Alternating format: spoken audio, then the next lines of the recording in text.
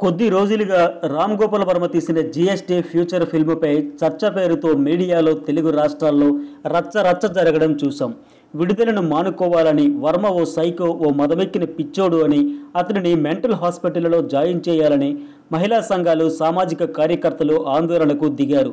అతడు తన కుమార్తెతో జిఎస్టీ చూస్తాడా అని ప్రశ్నించారు. తన తల్లితో God sex and truth cinema తీయగలడా అని నిలదీశారు. వర్మ తన సినిమా రిలీజ్ను ఆపకపోతే ఊరుకునేది లేదని కొందరు మహిళలు హెచ్చరించారు. వర్మ తీస్తున్న దానిలో తప్పు లేదని ఇంకొందరు వాదించారు. ఈ వాదోపవాదాల మధ్య జనవరి ఇరవై ఆరు రిపబ్లిక్ డే నాడు ఉదయం ఆన్లైన్లో జిఎస్టీ విడుదలైంది. కానీ లక్షలాది మంది ఒకేసారి మూవీ చూసేందుకు ప్రయత్నించడంతో వెబ్సైట్ కాస్త క్రాష్ అయిపోయింది. దీంతో జనవరి ఇరవై ఏడున మళ్ళీ విడుదలైన ఈ ఫ్యూచర్ ఫిల్మ్ ఎలా ఉందని అడిగితే అద్భుతమనే చెప్పాలి. పంతొమ్మిది నిమిషాల డ్యూరేషన్ ఉన్న ఈ జిఎస్టీ స్త్రీ స్వేచ్ఛ గురించి ఆమె వ్యక్తిత్వం దేహం శృంగారం శృంగార వాంఛలను గురించి చెప్పింది. సామాజిక కారణాలు వ్యక్తిగత సాకులు చెబుతూ మహిళా స్వేచ్ఛను అణిచివేశారనే వర్మ ఈ ఫ్యూచర్ ఫిల్మ్ ద్వారా చెప్పారు. ఒంటి మీద నూలు పోగు లేకుండా మియో మాల్కోవా శృంగారం స్త్రీ దేహం సమాజంలోని కట్టుబాట్లు శృంగారంపై ఆంక్షలు వంటి అంశాలను హండ్రెడ్ పర్సెంట్ మహిళా కోణంలో చెప్పే విధానం ఆలోచించతగినది స్త్రీ దేహంలో అనువనువు ఆరాధించాల్సిందే. ఈ సృష్టిలో అందమైన ఆడవారికి ఏదీ సాటి రాదు. స్త్రీ దేహంతో పోల్చదగ్గది అసలు ఈ సృష్టిలోనే ఏమీ లేదు. కానీ స్త్రీని సెక్స్ కోసం అనే ఒక్క కోణంలోనే చూడటంతోనే సమస్య వస్తోంది. దేవుడు సృష్టించిన వాటిలో అపురూపమైనది అద్భుతమైనది మహిళ. శృంగారాన్ని దేవుడు సృష్టించాడు. కానీ దానికి మనిషి షరతులు విధించాడు. స్త్రీ స్వేచ్ఛకి ఆమె శృంగార వాంఛలకు షరతులు పరిమితులు విధించడమేనా? సామాజిక స్వేచ్ఛ అని Varma నిలదీశాడు women is not a property beautiful women అంటే ఐశ్వర్యవంతురాలు కాదు. తన ఆలోచనలకు తగ్గట్టుగా స్వేచ్ఛగా విహరించగలిగేది అంటూ సిగ్మండ్ ఫ్రాయిడ్ సహా పలువురు ప్రముఖులు చెప్పిన కొటేషన్లను మధ్య మధ్యలో చెబుతూ వర్మ జీఎస్టీని తెరకెక్కించాడు. మహిళల సెక్సువల్ పవర్తో పోల్చుకుంటే పురుషుల స్ట్రెంత్ నథింగ్ అని వాత్సాయనుడు చెప్పిన మాటను ఓ చోట చెబుతాడు.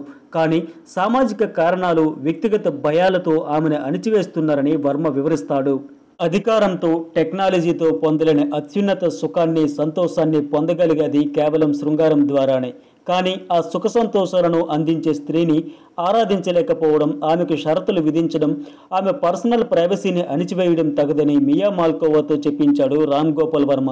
ఈ జీఎస్టీని చూస్తే ఈ ప్రపంచంలో రామ్ గోపాల్ వర్మను మించిన ఫెమినిస్ట్ ఎవరూ లేరని ఖచ్చితంగా చెప్పవచ్చు. స్త్రీని ఆరాధించడం గౌరవించడం ఆమె ఆలోచనలు కోరికలకు ప్రాధాన్యతనివ్వడం అవసరమని చెప్పిన వర్మను ఏ స్త్రీ కూడా అభినందించకుండా ఉండలేదు. అందుకు ఉదాహరణగా వర్మ తనకు ఓ ఆంటీ ఓ అమ్మాయి చేసిన ట్వీట్లను కూడా రీపోస్ట్ చేశాడు. గాడ్ సెక్స్ అండ్ ట్రూత్ చూసిన తర్వాత ఓ మహిళ నాకు మెసేజ్ చేసింది. ప్రతి సీన్ నాకు వణుకు తెప్పించింది. ఇది పోర్న్ కాదు. కేవలం ఫిలాసఫీ మాత్రమే కాదు శృంగారం పట్ల ఓ పవిత్ర భావన స్త్రీ శరీరం పట్ల ఆరాధన ఈ సినిమాను ప్రతి మహిళ గౌరవంగా భావించాలి. గాడ్ సెక్స్ అండ్ ట్రూత్ చూసిన తర్వాత ఓ అమ్మాయి మెసేజ్ చేస్తూ సాంఘిక కట్టుబాట్ల వల్ల నేను అణిచివేయబడ్డాను కానీ జిఎస్టీ చూసిన తర్వాత నేను స్త్రీగా జన్మించినందుకు దేవుడికి కృతజ్ఞతలు తెలుపుకుంటున్నాను. స్త్రీ లైంగిక స్వేచ్ఛ పట్ల మీరు చూపించిన ఫిలాసఫీ నచ్చింది. ఈ వీడియో నా సెక్సువల్ రైట్స్ గురించి ఆలోచించేలా చేసింది. మియా మాల్కోవా ఆర్జీవీలకు కృతజ్ఞతలు అంటూ తనకు మెసేజ్ చేసినట్లుగా వర్మ ట్వీట్ చేశారు. ఈ రెండు ఉదాహరణలతోనే చెప్పవచ్చు. జీఎస్టీ మహిళల ఆలోచనలు వారి గౌరవాన్ని వ్యక్తిత్వాన్ని గౌరవించే విధంగా మలిచారని. యుఎస్ఏకి చెందిన స్ట్రైక్ ఫోర్స్ సంస్థ జీఎస్టీ ఫ్యూచర్ ఫిల్మ్ను నిర్మించింది. ఎంఎం కీరవాణి బ్యాక్గ్రౌండ్ స్కోరు మూవీకి హైలైట్గా నిలిచింది. ఓంకారనాదంతో ప్రారంభమయ్యే మ్యూజిక్ అద్భుతం. ఇక మియా మాల్కోవా భంగిములు హావభావాలు ఆకట్టుకునేలా ఉన్నాయి. ఇది ఖచ్చితంగా అశ్లీల సినిమా కాదు. ఆలోచింపజేసే సినిమా. స్త్రీల గౌరవాన్ని పెంచే సినిమా. ఆ విషయం గుర్తించి వర్మను ఆడిపోసుకున్న మహిళలంతా ఎలా స్పందిస్తారో వేచి చూడాలి. వర్మను అపార్థం చేసుకున్నందుకు సారీ చెబుతారో లేక తమకంటే పెద్ద ఫెమినిస్ట్ అని సదరు మహిళలు థ్యాంక్స్ చెబుతారో. హాయ్ బిజీ పీపుల్ ఈ వీడియో బాగుందా?